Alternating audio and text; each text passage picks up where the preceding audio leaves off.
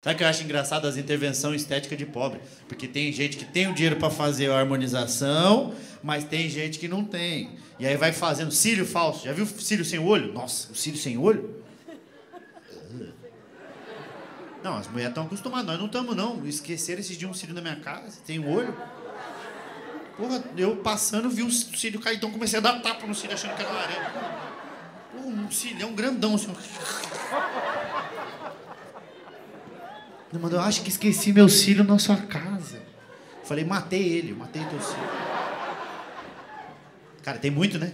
Puta que pariu, as mulheres, elas vão se... Eu queria que tivesse mais essas coisas pros homens. Ou, ou queria que o, o padrão te deixasse a gente entrar nessa onda. Porque as mulheres têm muita coisa. Então ela coloca o cílio, o cilhão, aí faz aquela tatuagem definitiva que não é definitiva, que parecendo Vegeta, que ela pinta aqui.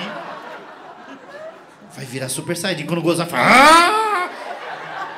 O, o cílio, é a tatuagem de rena, aí coloca o gloss mais fortão, a cara do patati, aí fica o silicone falso, que é aquela moeba, aí coloca a calça da Polishop que sobe a bunda, a unha sai, aí você vai transar com a mina, ela começa a, a se tirar toda. Você fala, tá com lepra, ela tá com lepra, essa mina tá com lepra.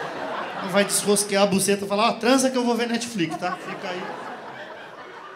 É o senhor cabeça de batata. Todo mundo tá me traumatizando agora. Você termina de transar, começa a montar a mina igual um Lego. Fala, ó, oh, achei mais uma peça sua. O